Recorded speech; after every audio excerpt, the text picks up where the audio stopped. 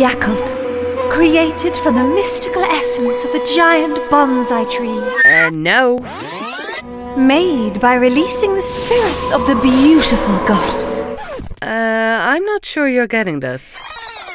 Infused with the tranquil hum of the wise man.